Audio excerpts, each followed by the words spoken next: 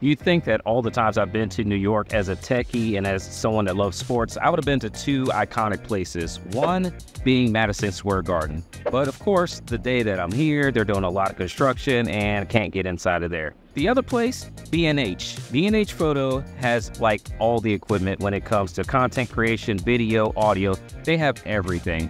But there's a huge line outside that is continuing to grow, so not able to get into B&H.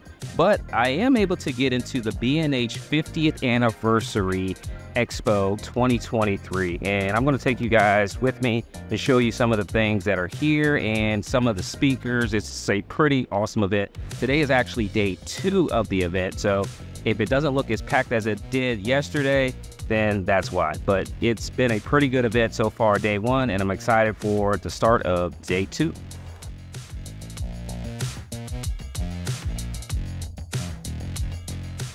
When I saw this in the mail, this brochure for B&H, it said celebrating 50 years. And when I saw this, I wanted to learn more about what they were going to do for their 50th anniversary. And come to find out, they were hosting an event called BILD 2023 in New York City. Now, I've been to New York a fair number of times. And as a techie and as a sports enthusiast, there are two iconic places that you would assume that I would have visited, neither of which I had visited. For the sports enthusiast side of me, Madison Square Garden the Mecca, the most well known venue in sports. Never been there. And I wanted to go during this trip to the BILD conference, but there was so much construction going on that I couldn't quite get in there. Plus, there was no scheduled events for being at Madison Square Garden, so that was another fail this time around. Now, the other most iconic place as a techie is obviously B&H. It's over a block long, a block wide. It's a huge store, and I've never actually gone inside of B&H but I wanted to go this time. Unfortunately, the line was kind of starting to grow and I didn't really want to wait. But thankfully, the B&H conference was a full two day event and I maximized all the time at this conference. Now, when I got there, I just knew that I would probably run into someone and shout out to Dr. Elo because I ran into him, or I should say, he ran into me and saw me first. So it was pretty cool to see other content creators at this conference. The number of cameras that was roaming around was was amazing to see so many people that were invested in this particular expo. Not only were there vendors there, but there were speakers there as well. One of those people in particular was Jean Fruth.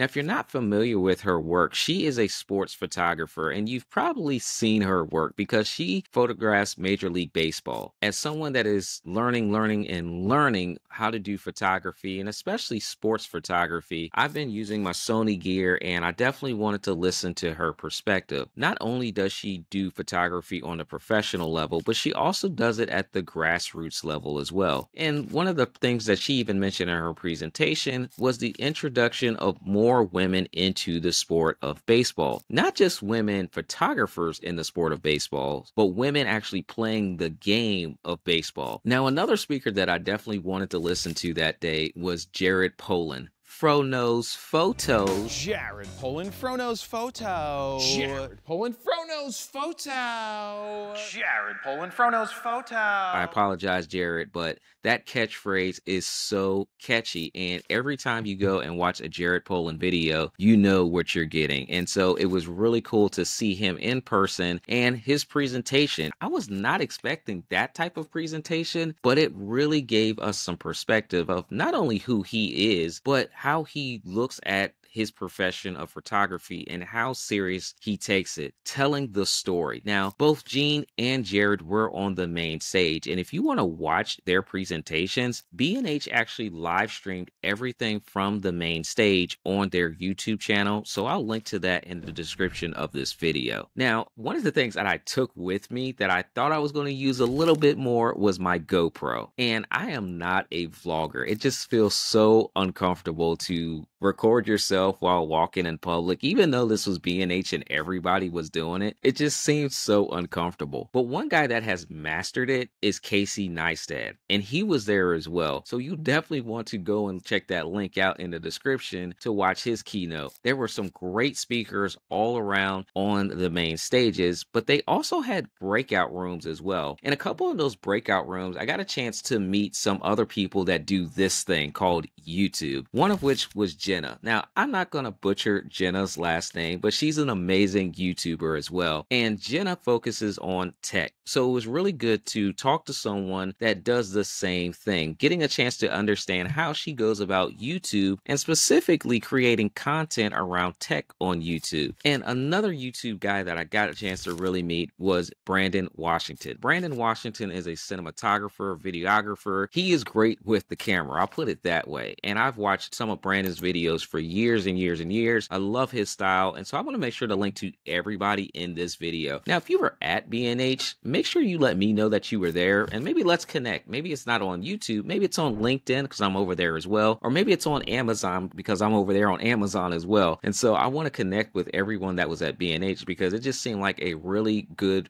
family atmosphere of a whole bunch of professionals that do very similar types of work. Now, along with some great speakers, there were some great vendors there. And I got a chance to hang out with some of the people that have sent products to me for review on this channel. So I definitely want to give a shout out to Shure Microphones for being there. Mario, sorry, didn't get a chance to meet you in person, but it was great connecting with the entire team that was able to show up for the conference. I was also able to connect with BZB Gear, so it was really cool to see them and see some of the new things that are going to come out at the end of the year. So you guys stay tuned. And I also got a chance to catch up with PTZ Optics and the legendary Paul Richards. Now, when I bought my very first PTZ camera, it was a PTZ Optics camera, and I learned a lot from Paul Richards. So you definitely got to check out their channels as well because I'm using a PTZ camera to record this video right now. When I got back from New York City, I actually set up this brand new space in the basement to create another video about what it would look like to create a budget podcast studio. So that's going to be the very next video after you get finished watching this one. Now, there were so many different vendors there, and I got a chance to learn a lot about some of the things that are upcoming and some of the different use cases of how people use equipment, different workflows, different strategies. And it was a really great experience. After the conferences wrapped up each day, I did get a chance to get out and do a little sightseeing. Now, I did stop by Yankee Stadium, which was pretty cool. As a baseball fan, again, definitely a place that I wanted to go and visit. And on the second day, I finally brought out the cameras. Now, I took my Sony A1 and the brand new 24 to 70 G Master Mark II, but I didn't even take them out of my bag until day two. And so while walking through New York, I was able to get some pretty cool shots, just random shots as I was walking through. And then when I got to Times Square, I was able to stumble upon this. I got there at the perfect time for those street dancers. So I had the camera out, it was ready to go. Now, I didn't get a chance to like lock down my settings because I didn't know that was going to happen in real time. But I was able to get some really good footage on the Sony camera and on the lens combo, which the Sony combination is just magnificent for photography and video. And I was able to grab some really cool shots for the entire stay when I was walking around New York City. But now that we're back home, it's time to get back to building out this studio. So check out this next video where I talk about this brand new 4K PTZ camera and how you can use it for your setup.